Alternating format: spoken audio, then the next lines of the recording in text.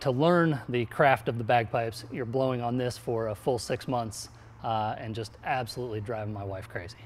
Anybody that's known me knows that uh, for quite a number of years now, I've been involved with the fire service. And there's a steeped history uh, of, of Irish in the fire service and Irish tradition. And uh, within that, uh, many organizations have a pipe and drum band. And so, you know, several individuals on my department have decided to try and take up uh, the, the, you know, piping as a craft.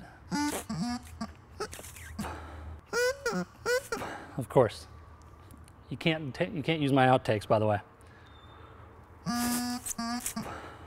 Hold on, my reed, my reed stuck, of course.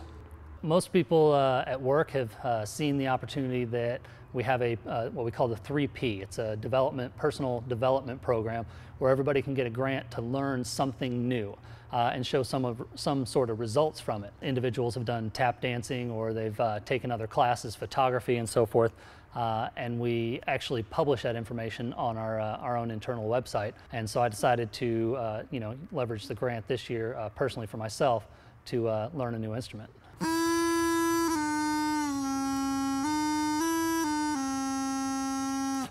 Now they've put forth that uh, you can continue your education with a much larger grant. Uh, one individual this year will be awarded the larger grant, and you essentially have your opportunity to put that towards whatever you'd like to, uh, to do in order to further uh, your, uh, your, your learning ability. Last year, we were given a piece of uh, steel from the World Trade Center. Uh, we actually contacted the Port Authority in, in uh, the New York area, and we were actually granted a very large, uh, it's about a 14 foot piece of steel that we've decided to put a memorial together for. An architecture firm has put together uh, plans for the memorial. We've published them on our website. And so they're looking for, you know, all private uh, funds and donations to make that happen.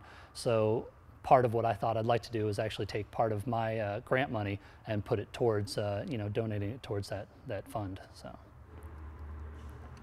The thing that I would like to offer back is if I were to actually be uh, awarded this grant for this year, I would commit to uh, next year's kickoff uh, a performance for the entire company in full dress. I mean, the, the full on kilt and, uh, and, and full dress, yep.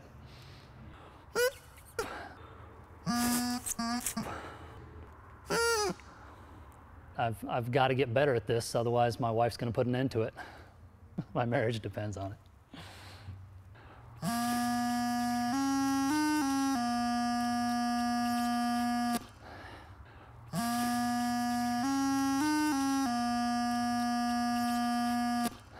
And then I'll pass out on camera.